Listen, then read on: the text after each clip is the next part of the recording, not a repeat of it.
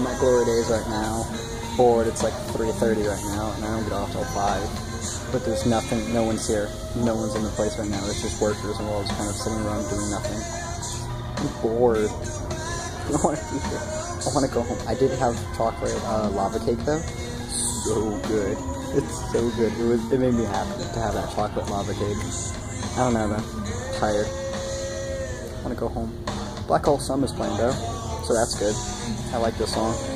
Uh, it's all s- s- straight through. They no, still JJ Abrams. I'm sorry. I'm sorry. um, I don't know, but yeah. Hopefully you can actually hear me. I don't even know if you can, but yeah.